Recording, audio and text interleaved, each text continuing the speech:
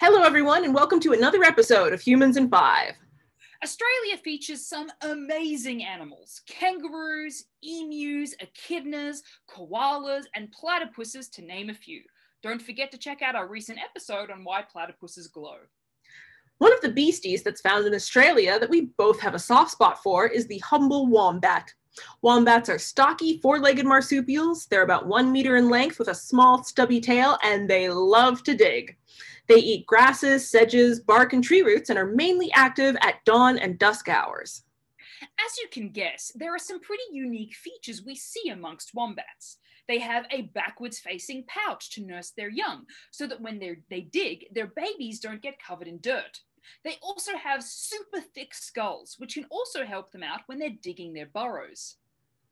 The word wombat comes from the Darug language, spoken by the indigenous Darug people who lived in the area that Sydney now occupies. Wombats were first described as badgers by European colonial powers, and they were called badgers by settlers who came to Australia for a long time. One particularly notable wombat feature is the shape of their feces. That's right, their poop is square. Researchers and wildlife lovers alike have puzzled over these square droppings for some time. Some theories suggested that wombat droppings were square so that wombats could stack their poo to mark their territory. Other researchers said that it was because they didn't have a lot of water in their diet, so their poo was quite dry and, well, brick like. But happily, this mystery has been solved by an intrepid group of researchers from the Georgia Institute of Technology in the US.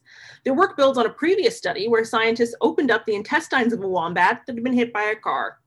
They found that wombats had two grooves in their guts that made their intestines more elastic. The team from Georgia revisited wombat guts and took a closer look. They looked at the structure of muscle and tissue layers of the intestines, and they found a big variation in thickness and stiffness. To see how this would shape feces in a living wombat, the team created a mathematical model to see how the gut tissue would function with rhythms of digestion. It turns out that different portions of the gut have slightly different responses depending on their stiffness.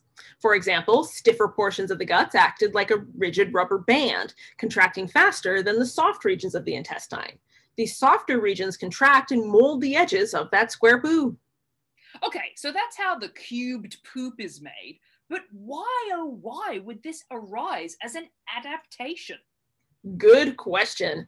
Many researchers don't have an answer for this one, and some put forward the idea that square shaped droppings collect better for displaying territory again.